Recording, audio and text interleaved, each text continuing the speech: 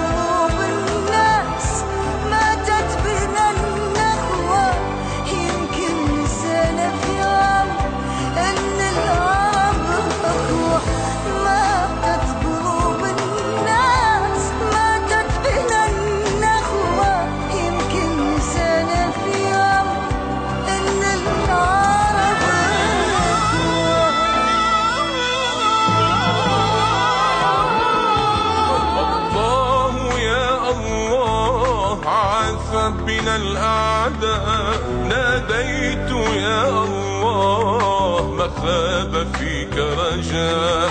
الله يا الله عاف بنا الأعداء ناديت يا الله مخاب فيك رجاء.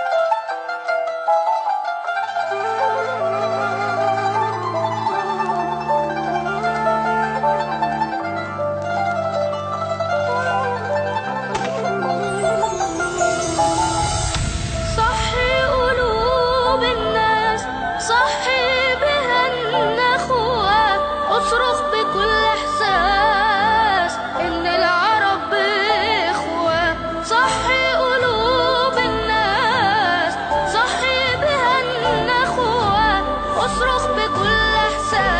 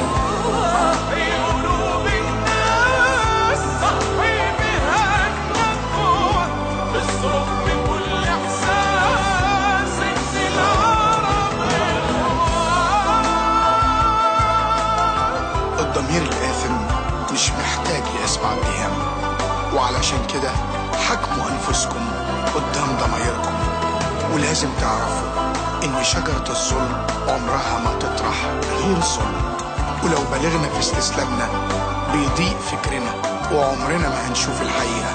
واللي بيصدق كذب الحياة بيسخر منه ضميره.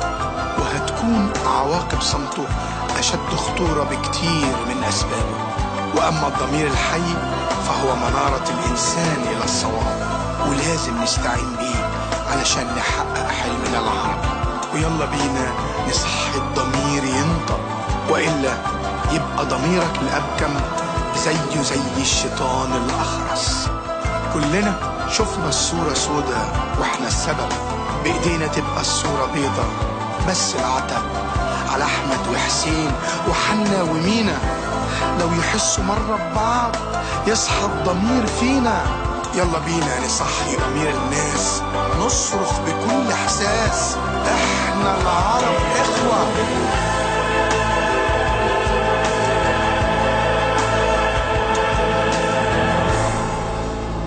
يا ريت.